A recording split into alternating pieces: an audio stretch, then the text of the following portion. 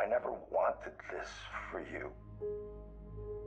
I wanted a totally different life. A steady paycheck, kids, a family.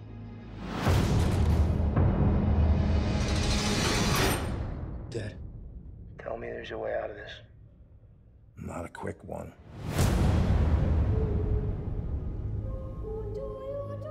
We would like you to transfer to another prison and befriend someone to elicit a confession.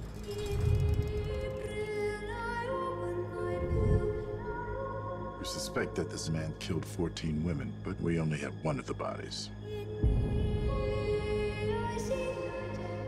Larry has vivid dreams. Tell me about him. In my dreams, I kill women. Those are just dreams.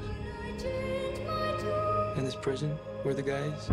Maximum security specializing in the criminally insane. You want me to check into hell and befriend the demon? Not for all the money in the world. How about freedom? Hall's conviction's on appeal.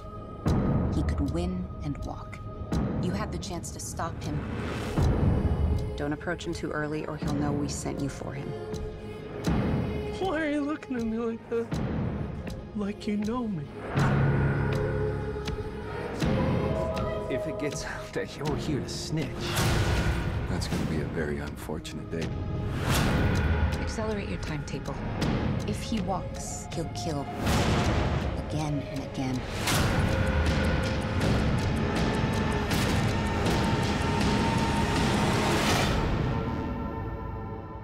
If you think you could be in danger, you are in danger.